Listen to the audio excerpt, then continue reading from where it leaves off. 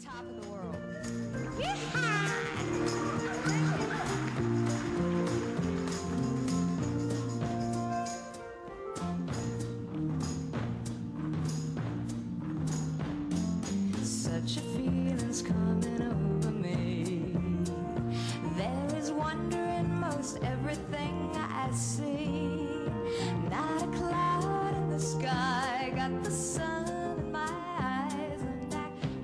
surprised if it's a dream.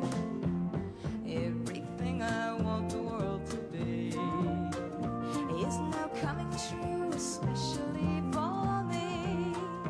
And the reason is clear, it's because you are here. You're the nearest thing to heaven that I've seen. I'm on the top of the world, down on creation.